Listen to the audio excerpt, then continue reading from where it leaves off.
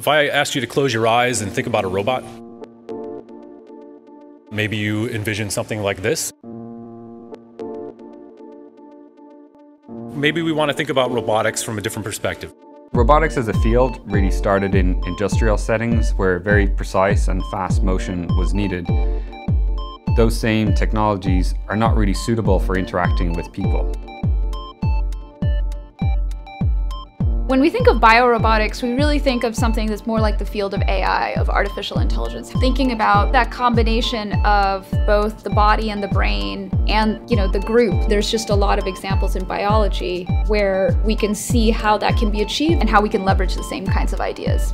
I think biorobotics is a new discipline connecting living creatures and robots. Let's take a look at nature, see how nature does things looking at uh, design principles in nature and trying to uh, build robots that either implement those principles or interact with those principles. Looking at humans, looking at biomechanics, looking at the materials that exist in nature, looking at the algorithms that nature uses. What is intelligence? What is the technology that's going to make us be able to understand what biology already has? And hopefully it's not just inspiration but actually bio-informed, that we take what we learn from animals and use it in applying those techniques to our robots.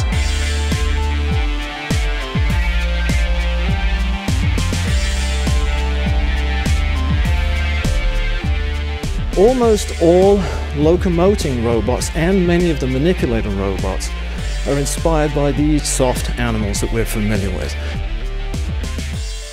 If we wanted to make a robot that acted some way like this, how would we do this? So compared to more traditional robots, the things that are, you know, welding the doors on, on your car in an assembly line, we're making robots which are inherently safer to interact with because they're soft or they're small and because of their size or because of their compliance and ability to adapt to sort of natural environments can perform tasks that are difficult or impossible with other classes of robots.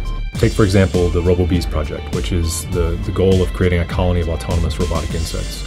There's nothing off the shelf which are, is going to be used for any of the components, and so we have to reinvent every feature of this robot and along the way have new, you know, new technologies that are developed as part of that.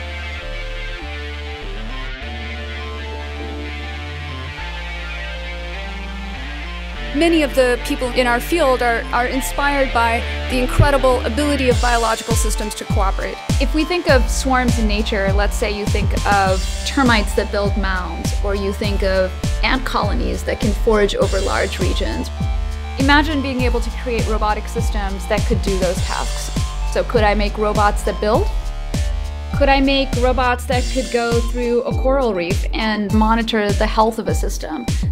If you think about traffic and self-driving cars, as soon as you have a lane full of self-driving cars, you have a lot of robots on the road. So if we can build an algorithmic understanding, how do you have large scalable collectives work together in a decentralized way? And they're going to be slightly faulty and they're going to have low capabilities, as opposed to the absolute perfect robot that can perfectly navigate through some complex environment. That's a really amazing manufacturing technology, right? Because you could mass manufacture simple things and then those simple things would cooperate and create something of a much higher complexity. What we are aiming at in robotics is really this concept that where humans and robots can coexist, can coordinate, can distribute tasks to the joint benefit of all. As you know, there are many big differences between the driving mechanism of uh, current robot and human body. So we're working on soft wearable robots to both enhance and augment the ability of healthy individuals, and then we're trying to apply the same technology to people who have some kind of physical disability. Historically, when people have designed wearable robotics, they've tried to think about how do we give someone superhuman strength. What we believe is that there's a lot of people with some kind of disability who don't need superhuman strength, but just need a small amount of assistance but that small amount of assistance can have a pretty big impact in their quality of life. So we're trying to take a new approach and say, how do we design new robotic components that are using soft materials to be able to apply forces to a person and without the mass and the kinematic restrictions associated with rigid devices. There's a potential to like really help people who have severe injuries. It's taking an, an unconventional approach. You're not saying, okay, how do we improve on the status quo? It's saying, how do we basically take a fundamental leap we can push all these different fronts, but somewhere behind it there are core ideas that we can share, like how do you produce autonomy? What are the sensing technologies that could work? Can we make softer robots?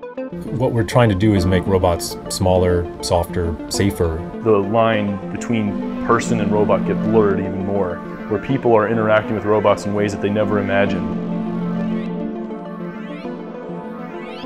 These are ways that, that will have profound impacts on our lives in the future, and, and robotics will be at the forefront of that.